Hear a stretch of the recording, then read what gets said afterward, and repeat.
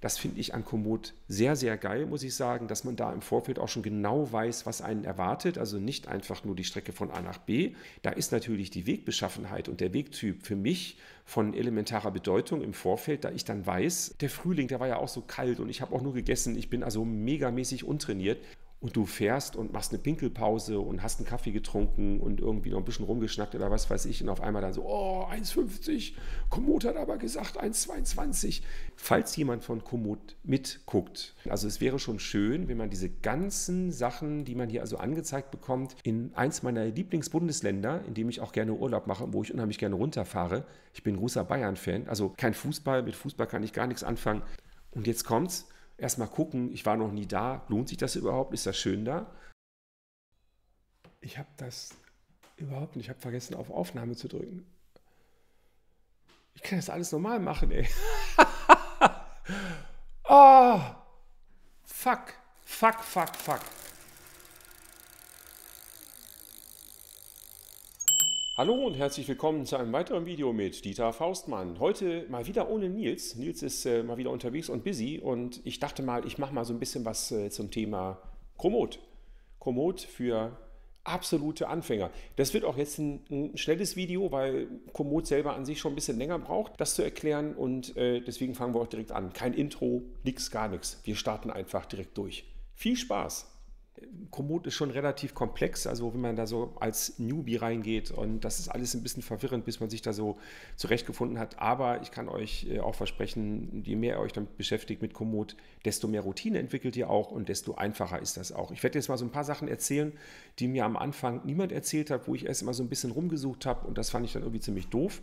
Und darum auch dieses Video für, ich wiederhole es nochmal, absolute Einsteiger, die das noch nie vorher benutzt haben. Wir legen los. Ihr habt euch bei Komoot angemeldet und äh, habt also einen Account. Das ist jetzt ein Schritt, den ich übersprungen habe. Das ist ganz normal. E-Mail-Adresse, Passwort und so weiter und so weiter. Verifizieren und dann geht ihr auf die Seite und loggt euch dann mit den Daten ein. Und das erste, was erscheint, wenn ihr euch in Komoot eingeloggt habt, ist dann das, was ihr jetzt gerade hier auf dem Bildschirm seht. Wichtig ist hier oben ganz normal die Kommandozentrale. Da haben wir hier oben also einmal euren, äh, euer Profil wo dann die ganzen Touren sind, wenn ihr welche geplant hättet, ne, Touren, die ihr schon gemacht habt, zum Beispiel auch Highlights und so weiter und so weiter. Lassen wir erstmal weg. Und wenn ihr jetzt eine Tour planen wollt, dann müsst ihr erstmal suchen, also ganz speziell planen wollt direkt von Null an, dass ihr also einen ganz sauberen Bildschirm bekommt, wo ihr praktisch drauf rummalen könnt, wie ihr das wollt. Der ist hier oben versteckt. Hier ist so ein kleines Plus.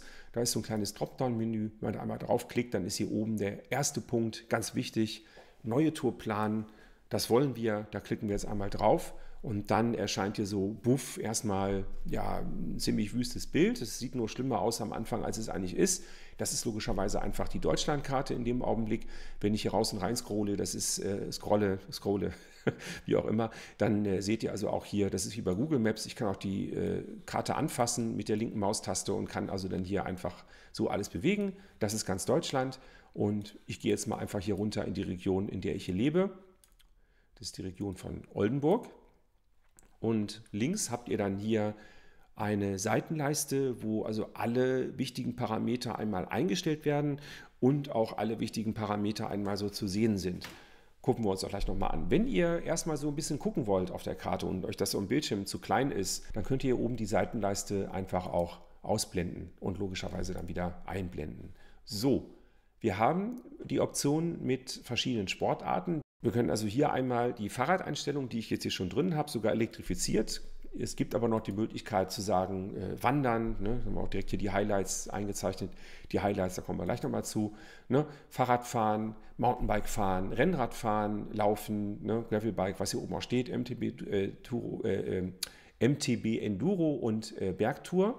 Das finde ich sehr, sehr klasse und die Unterscheidung macht auch Sinn, weil natürlich Komoot hingeht und sagt, äh, im Gegensatz zu einem, einer Mountainbike-Tour, wenn ich jetzt mit dem Rennrad fahre, dass ich natürlich dann auch bitteschön Strecken angeboten bekomme von den Vorschlägen, die da sind was den Untergrund angeht, also die Oberfläche, auf der ich dann fahre. Mit dem Rennrad möchte ich eigentlich, wenn es geht, nicht unbedingt in Waldwegen landen oder halt eben auf Schotter, äh, Schotter oder äh, sonst irgendwie etwas, was natürlich jetzt für den Reifen nicht so gut ist. Ähm, wenn ich jetzt gegen Mountainbike-Tour äh, mache, dann möchte ich jetzt nicht unbedingt stundenlang nur auf Asphalt geradeaus fahren. Ich will ein bisschen was erleben.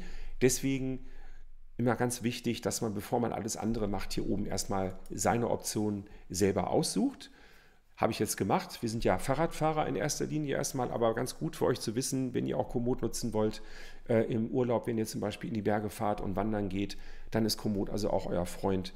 Kann ich nur empfehlen. Ganz, ganz, ganz große Klasse. Dann haben wir hier unten einen Reiter mit äh, Fitness. Hm, den lassen wir jetzt erstmal so stehen. Also den könnt ihr einstellen von untrainiert bis hin äh, zu Profi. Hat hier jetzt erstmal keine Auswirkungen, dass wir in der Mitte einfach mal stehen. Und dann haben wir jetzt hier die Route. Da können wir dann sagen, die Route, die wir jetzt planen, wollen wir die Route eigentlich jetzt nur hinfahren oder wollen wir dann irgendwie auch mit der Bahn wieder zurück oder fahren wir dieselbe Route auch wieder zurück? Lasse ich aber jetzt auch erstmal so stehen, Hinweg. Und wenn ich jetzt hier reinklicke, kann ich einen Startpunkt für diese Route, die wir dann planen möchten, einfach vorgeben.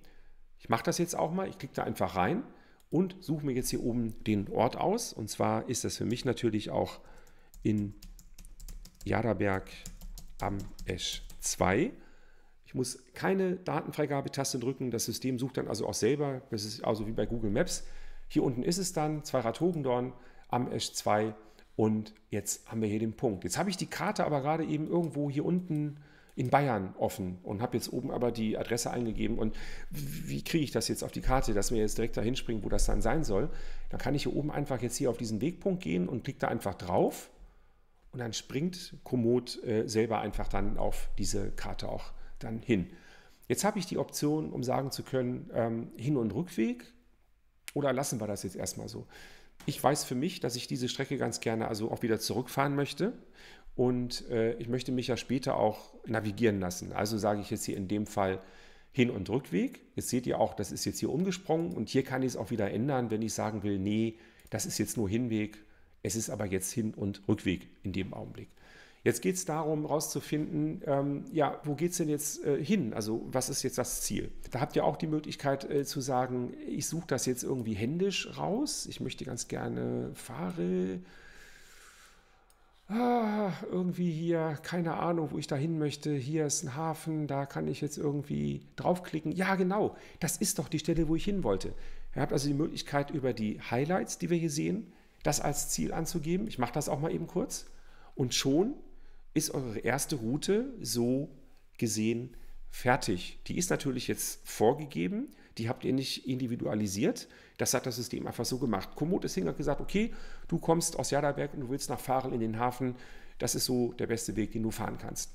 Ihr könnt natürlich auch hingehen und sagen, dass wir jetzt hier diesen Punkt, ich lösche den mal, also hier Wegepunkt löschen, als wenn er weg wäre. Hier haben wir noch den Punkt, den Startpunkt A hier unten und mache das jetzt hier oben. Also jetzt auch die, die Art und Weise, wie ich das eigentlich immer mache. Ähm, ich suche mir jetzt keinen Punkt irgendwie auf der Karte raus, das ist mir alles viel zu fisselig. Ich weiß vorher eigentlich schon die Anschrift und die Adresse, wo ich hin möchte und dann kann ich das dementsprechend dann hier auch einfach äh, eingeben. So, da ist er auch schon, Fahreler Hafen, da klicke ich jetzt mal drauf und ich kriege auch direkt die Option hier, entweder jetzt hier oder hier klicken zu können. Das hätte ich jetzt gerne als Ziel. So, jetzt nach wie vor, was ich gerade gesagt habe, habt ihr eure erste Route praktisch mehr oder weniger geplant. Die könnt ihr jetzt hier oben abspeichern und so weiter und so weiter und so weiter. Jetzt gucken wir uns mal an, was hat es denn mit diesen ganzen Punkten auf sich? Na, wenn ich hier drüber gehe mit der Maus, äh, Überschwemmung, Wirtschaftsweg, na, was ist das? Was liegt hier auf der Strecke? Was ist das? Fahreler Hafen, schöne Allee. Klicken wir mal drauf, schöne Allee. Und ihr seht, dass jetzt hier links auch Fotos angezeigt werden. Jetzt habe ich aber gesehen, dass diese schöne Allee, die ist ja eh auf meiner Strecke drauf. Was ist denn aber, Moment mal, was ist denn hier? Nee, Überschwemmung wollen wir auch nicht. Was ist das denn hier? Freibad in Farel. Klicke ich mal drauf. Und jetzt könnt ihr einfach das Ding zur Tour hinzufügen. Ich normalerweise mache das so, wenn mir das angeboten wird. Ich gucke erstmal auf die Fotos, klicke da drauf. Das ist ein sensationelles, geiles Foto, muss ich sagen. Das habe ich, das, haha, es spricht so ein bisschen der, der gelernte Fotograf so aus mir hier. Das ist richtig cool. Das ist wahrscheinlich gestellt, aber es ist richtig geil gemacht. Sehr schön, sehr sympathisch. Habt ihr gut gemacht, da in im Freibad, Freibad da oben, finde ich cool. Ähm, so, jetzt könnt ihr hier noch draufklicken, wenn da mehr Fotos vorhanden sind. Also ihr müsst in die Fotos reinklicken, dann kriegt ihr die ganzen Fotos angezeigt. Das gucken wir uns auch gleich nochmal an. Jetzt habe ich das gesehen und denke so, das ist lustig. Solche Umkleidekabinen habe ich noch nicht gesehen, da will ich hin. So, dann gehe ich hier auf Schließen und kann jetzt sagen, das Freibad in Farel würde ich ganz gern besuchen. Es wird Sommer jetzt auch und fügt das dann einfach zur Tour hinzu. Jetzt klicke ich da drauf, passt mal, seht mal auf, was passiert. Und jetzt hat er die Route verändert. Also er hat mir jetzt eine Option angeboten, wo er sagt, wenn du in das Freibad möchtest, auf der Tour nach Farel, kannst du deiner alte Route, der alten Route folgen und kannst da oben rein. Du kannst aber auch einen komplett anderen Weg fahren. Du fährst die rechte Route zum äh, Fischbrötchen essen nach Farel und fährst zurück, aber auf dem Rückweg zum Esch 2 fährst du dann übers Freibad und wenn du eh schon auf der Strecke bist, dann lassen wir das dann so. Jetzt ist mir das aber schon ein bisschen zu viel. Das heißt, ich gehe jetzt hier hin und fasse die Straße, die Route hier irgendwo an, am besten da, wo kein Bild ist, wenn das hier mit dem Klicken ein bisschen schwierig aussieht, äh, ganz kurz der Hinweis, ich habe die Maus sehr groß machen können, äh, müssen, weil ich einfach seh, äh, will, dass ihr seht, wo ich, wo ich hinklicke.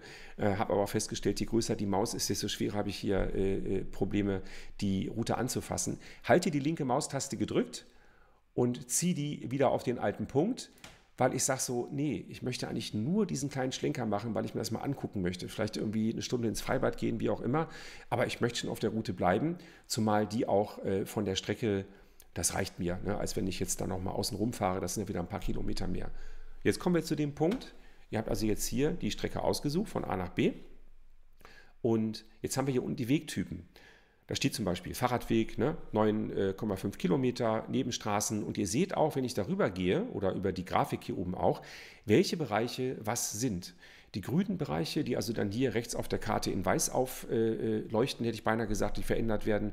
Das ist also der Fahrradweg und das ist, sind Nebenstraßen. Da zeigt der Komoot auf jeden Fall an äh, die, die, den Wegtyp und was noch viel wichtiger ist hier unten, das ist die Wegbeschaffenheit. Wir haben also hier 5% Pflaster, auch hier wieder ne, Straßenbelag und dann haben wir hier nochmal Asphalt. So, das heißt, das ist eine safe Strecke. Ich weiß das natürlich auch, ich kenne die Strecke auch, aber für euch ist das wichtig oder auch für mich, wenn ich jetzt zum Beispiel weiß, ich fahre jetzt irgendwie nach Bayern in den Urlaub und ähm, ich möchte da jetzt irgendwie einfach eine Fahrradtour machen, ich kenne die Gegend überhaupt nicht, da ist natürlich die Wegbeschaffenheit und der Wegtyp für mich von elementarer Bedeutung im Vorfeld, da ich dann weiß, äh, erstmal kann ich das überhaupt fahren, habe ich überhaupt das richtige Fahrrad dafür, wenn da plötzlich irgendwie steht, dass das irgendwie Schotter ist und, und, und Wald- und Wiesenweg oder so, dann ist das ein bisschen schlecht mit dem Straßenreifen da durchzufahren.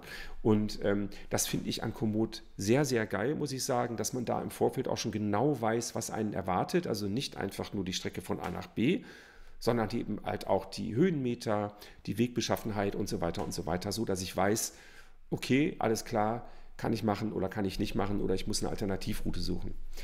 Dann haben wir hier oben auch nochmal, ähm, komme ich jetzt mal zu der Fitness zurück. Ihr seht jetzt hier bei Gut in Form, für diese Strecke wird mir jetzt gesagt, ich brauche ungefähr eine Stunde 22. Die Strecken, die Distanz wird nochmal angezeigt und äh, bergauf geht es 40 Meter und 40 Meter bergab. Also hier oben ist ja alles sehr flach ist eigentlich relativ uninteressant. Wenn ich jetzt sage, ah, ich habe jetzt irgendwie Weihnachten, habe ich eine gute Zeit gehabt und der Frühling, der war ja auch so kalt und ich habe auch nur gegessen, ich bin also megamäßig untrainiert, dann seht ihr auch, dass hier von untrainiert dann äh, die Zeit, die Dauer der Zeit sich einfach dann verändert. Wenn ich das mal jetzt wieder zurückgehe, äh, zurückschiebe auf ähm, Mitte, dann geht es von 1,53 auf 1,22. Wenn ich sage, ich bin Profi, ich habe einen ganzen Winter Sport gemacht, über, dann schaffe ich das angeblich in 52 Minuten. So, dazu muss man sagen, dass das eigentlich nur ein Richtwert ist, man sollte natürlich selber seine Fitness schon relativ gut äh, selbst einschätzen können. Guckt immer keiner über die Schulter, wenn man das am Rechner mal so ein bisschen ausprobiert. Ähm, das ist eigentlich nur dafür gedacht, das dient als äh, Richtwert dazu, weil es ja sein kann, wenn ich jetzt auch wieder das äh, Stichwort Urlaub im Urlaub bin und eine Tour plane, damit ich ungefähr weiß, mh, hm, ich will so, ich kann so um 12 losfahren, ich habe Zeit bis 16 Uhr, reicht das? Es ist also Pi mal Daumen. Also es kann natürlich sein, das System schreibt dir hier 1,22 hin und du fährst und machst eine Pinkelpause und hast einen Kaffee getrunken und irgendwie noch ein bisschen rumgeschnackt oder was weiß ich und auf einmal dann so, oh, 1,50, Komoot hat aber gesagt 1,22. Ähm, so funktioniert das nicht. Die gehen natürlich davon aus, dass du das einfach durchfährst. Na, also, dass du ja keine Pause machst oder so. Das mal eben ganz kurz dazu, ähm, finde ich ein ganz wichtiger Hinweis. Äh, jetzt könnt ihr natürlich diese ganzen ähm, Highlights, also ich habe jetzt mal hier einfach nochmal so, eine, so, einen, so einen Wegpunkt dazugelegt, der wird mir hier angezeigt ich kann das aufklappen. Da steht das Freibad in Farel.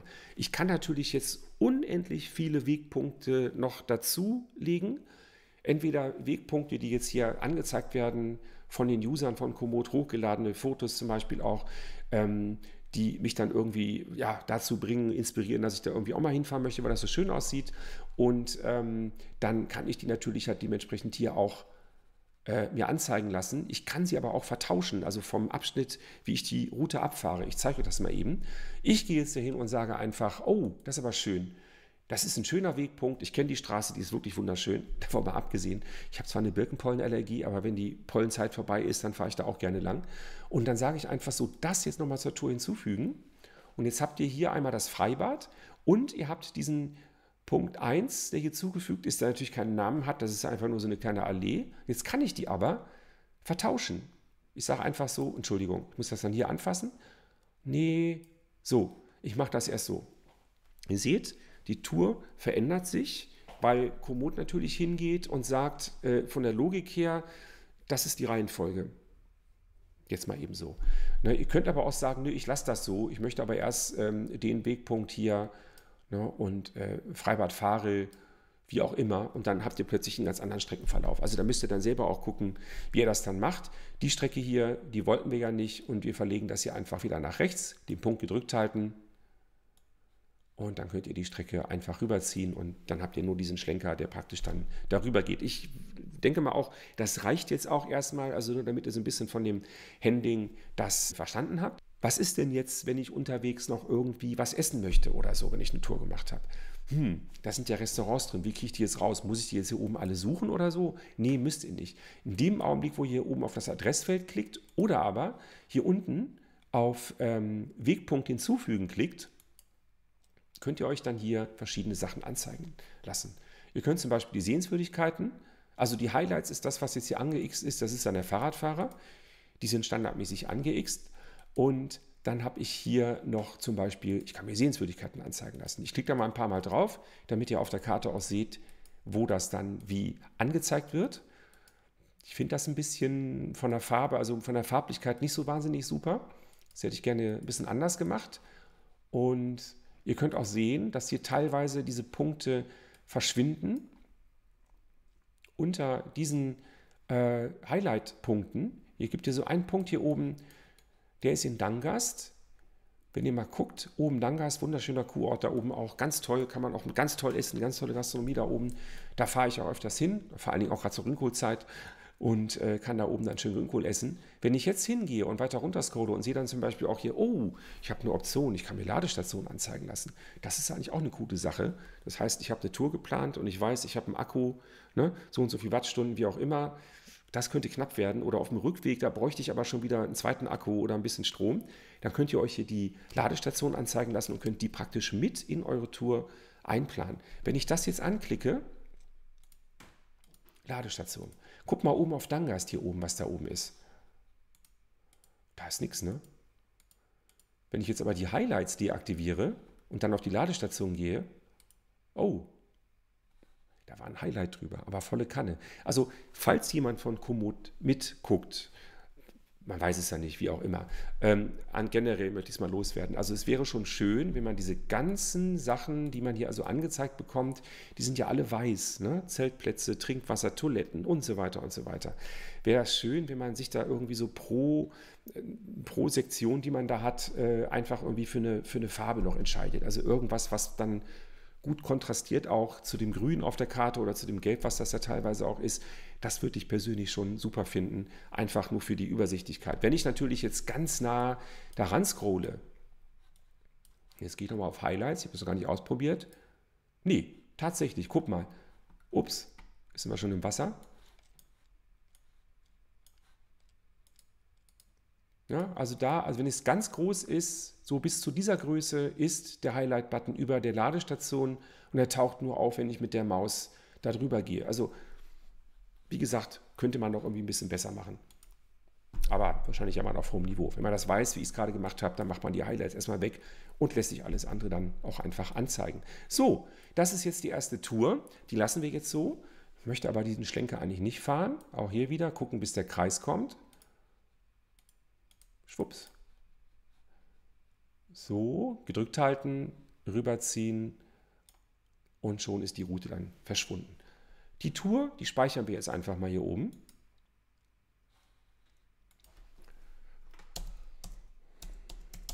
Tour de Fischbrötchen. Fertig. Also ich könnte noch, bevor ich fertig drücke, ich könnte also jetzt noch Teilnehmer einladen. Ich könnte sagen, Nils, was ist los? Ich habe eine Route geplant. Hast du am Sonntag Zeit, wollen wir Fischbrötchen essen? Nils sagt, jo, super, alles klar. Dann kann ich jetzt die Route, kann ihn praktisch einladen und er kann sich das auf Komoot dann auch angucken. Lassen wir jetzt erstmal weg. Ich drücke auf Fertig. Und jetzt hast du hier die Übersicht, wo praktisch dann links mit diesem wunderschönen Umkleidekabinenbild, finde ich richtig klasse, herzig, richtig herziges Bild ist das. Ähm, Fahrradtour der Fischbrötchen, ähm, wo ich nochmal alle Daten habe, ne, wie lange das dauert, die Strecke ungefähr, ne, Durchschnittsgeschwindigkeit und so weiter und so weiter und kann jetzt hier einfach dann hingehen und kann das dann dementsprechend auch noch neu bearbeiten. Der ganze Rest, wie alles noch funktioniert, da kommt noch in Zukunft was. Das lassen wir jetzt hiermit erstmal so dann sein. Jetzt nochmal ganz kurz, äh, nochmal der Hinweis, weil ja es ein Video für totale Anfänger auch ist, dass man hier also ja auf die Komoot-Startseite kommt. Jetzt habe ich natürlich Folgendes gemacht. Also ganz kurz, ich möchte jetzt die Route, die Touren, die ich geplant habe, mir angucken. Gehe ich oben auf mein Profil, Touren geplant, klicken wir mal einmal drauf und dann seht ihr, hier sind schon verschiedene Fischbrötchen-Touren drin. Die erste einmal gemacht, die anderen will ich ja gar nicht haben. So, da ist nochmal alles drin und dann kann ich da reinklicken und kann mir das nochmal alles ganz genau angucken Wunderbar, super. Na, ich möchte die Tour neu planen, ich möchte die bearbeiten, weil mir eingefallen ist, da Dieter hat irgendwie erzählt, da kann man unterwegs noch irgendwie da und dahin fahren, musste gucken. Dann kann ich das jetzt alles nachträglich nochmal eingeben, Tour speichern und das war's. So, wenn wir uns in Komoot einloggen, dann erscheint ja dieses Bild, was ich jetzt gerade hier habe. Und ich bin ja ganz explizit jetzt schon eigentlich für etwas fortgeschrittenere Leute, also um es dir auch ein bisschen einfacher zu machen, direkt auch neue Tour planen gegangen. Und Komoot selber hat ja hier oben links noch diese Option mit Touren. Wenn ich da jetzt draufklicke, haben wir das gleiche in grün. Ihr seht aber direkt hier in dem Ort, wo ich bin, das ist schon alles ein bisschen anders. Äh, hm, okay, alles klar. Was passiert da? Das ist eine ganz coole Option, die ich eigentlich jedem, der jetzt nicht direkt eine Tour fertig planen möchte, ähm, auch mal so gucken will, was macht denn die Community, wo sind die so gewesen, äh, kann ich da vielleicht mal irgendwas einfach so nachfahren. Das habe ich übrigens auch schon gemacht, ganz am Anfang Komoot habe ich keine Routen selber geplant, ich habe mir einfach Routen, die andere Leute hochgeladen haben, angeguckt, habe gesagt, jo, das sieht gut aus, möchte ich auch mal machen, möchte ich auch mal langfahren. Dann könnt ihr das darüber machen. Ihr könnt natürlich jetzt hier oben dann einfach die Deutschlandkarte wieder nehmen, entweder bei euch in der Region gucken oder aber auch in eins meiner Lieblingsbundesländer, in dem ich auch gerne Urlaub mache, wo ich unheimlich gerne runterfahre. Ich bin großer Bayern-Fan, also kein Fußball, mit Fußball kann ich gar nichts anfangen, aber das Bundesland ist schön und ich mag die Region dort auch. Das hat auch familiäre Gründe, aber das ist eine andere Geschichte. Unten da, Bad Reichenhall, immer Österreich rüber, Salzburg und sowas. Einfach schön. Das wird man da nicht mehr los. So, jetzt gucken wir uns mal an den Tegernsee. So, da haben wir den Tegernsee. Und wenn ich jetzt da so ein bisschen reinzoome, und ich fahre zum ersten Mal zum Tegernsee oder an den Tegernsee und ich habe keine Ahnung, was da eigentlich so los ist und ich würde ganz gern Fahrrad fahren oder wandern oder sonst irgendwas machen. Dann zoomt ihr da einfach ran und geht hier oben auf dieses, dieses blaue, diesen Platten, der da oben ist, sehr prominent, klickt da einmal drauf und dann erscheint da so ein Kreis und dann seht ihr auch direkt, da sind schon vorgefertigte Routen. In dem Augenblick jetzt hier Fahrradtouren, die hier oben auch angeklickt sind. Wenn ich da mit der Maus drüber gehe, dann leuchten die so ein bisschen hell auf. Das bringt mir jetzt nicht so wahnsinnig viel. Wenn ich jetzt links in die Seitenleiste gehe und über die einzelnen Touren rüber gehe, dann seht ihr, dass rechts dementsprechend die Route, die da gerade beschrieben ist und die gemacht worden ist, dann äh, gehighlightet wird, wie man möchte. Äh, ihr seht auch schon direkt in der Übersicht, das finde ich auch sehr cool, oh, das ist eine 3-Stunden-Route, 50 Kilometer mit äh, Höhenanstieg von 530 Metern, das finde ich cool, möchte ich mal gerne machen. Oder ihr seht auch direkt hier, oh, da ist eine Route um den Tegernsee. Welche ist das denn? Das ist die hier. Klicke ich da mal rein. Und jetzt kommt's. Erstmal gucken, ich war noch nie da. Lohnt sich das überhaupt? Ist das schön da? Ne? Fotos angucken. Oh, das ist aber schick. Tegernsee halt. Ne? Wenn ich jetzt in das Bild klicke, geht es weiter aufs nächste. Ja, das ist schon, mein Gott. Also, wenn man sich das so vorstellt, also ich sehe immer die ganzen Touristen bei uns hier oben. Meine Frau sagt dann immer, ja, wir leben da, wo andere Leute Urlaub machen. Das gilt aber meiner Meinung nach auch umgekehrt genauso. Also die Leute, die da leben, da machen ja andere Leute auch wie ich Urlaub. Äh, man kann nicht alles haben, ne? man kann es versuchen. Ist aber auch ganz normal, dass die Leute, die halt eben ne, in den Bergen wohnen, wir haben hier oben Unmengen von süddeutschen äh, äh, Urlaubern aus Bayern und wo die alle herkommen. Äh, und umgekehrt, wir fahren da runter und noch weiter nach Tirol und was weiß ich, weil wir einfach keine Berge haben. Wie gesagt, ne, also man kann sich ihm recht machen. So, ähm, was ich da interessant dran finde, ist mit dieser Funktion, mit diesem äh, Aussuchen von dieser Route, dass wenn ihr noch woanders einfach mal ähm, richtig rein scrollt, also ganz extrem, je tiefer ihr in die Karte reingeht und dann in diesem Gebiet sucht, dann verringert sich auch der Radius. Und jetzt seht ihr, das habe ich jetzt absichtlich gemacht, ich wusste das, ähm, dass hier steht wenig Inhalte rund um diesen Ort. Also da ist absolutes Niemandsland. Da ist äh, entweder noch nie einer gefahren oder da kannst du kein Fahrrad fahren. Ich vermute mal, da kann man eher wandern. Immerhin ein einzelner Punkt ist dann da. Ne? Und ähm, das macht ihr natürlich dann in den Gebieten, wo ihr dann hinfahrt, wo ihr dann vielleicht einfach ein bisschen mehr äh, wisst, was da so ist. Versuchen das hier auch nochmal. mal da ist auch nichts zu machen, da sind ein paar verlorene Routen. Also, je mehr ihr in ein Gebiet reinscrollt, desto mehr äh, Möglichkeiten bekommt ihr dann halt eben auch angezeigt innerhalb dieses geringeren Radius, der dann da ist, von dem Gebiet, in dem ihr dann vielleicht Urlaub macht. So, das geht jetzt hier vollkommen, äh, äh, ufert jetzt richtig aus. Das ist also Bestandteil einer Strecke von zwei riesengroßen Strecken, die da sind. Ne, ihr seht also hier 63 Kilometer, 48, das sieht ja schon nicht mehr so bedrohlich aus, finde ich. Und auch mal hier um den Spitzingsee direkt eine Runde, wenn man da mal eben kurz sich das dann hier Spitzingsee raussucht.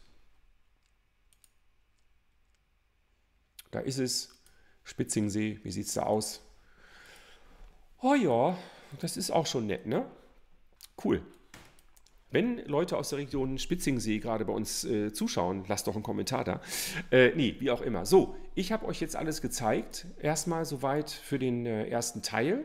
Ich hoffe mal, dass das so einigermaßen verständlich gewesen ist. Es ist, wie gesagt, ein relativ komplexes Ding, aber je mehr man sich damit beschäftigt, desto einfacher ist es auch von der Bedienung.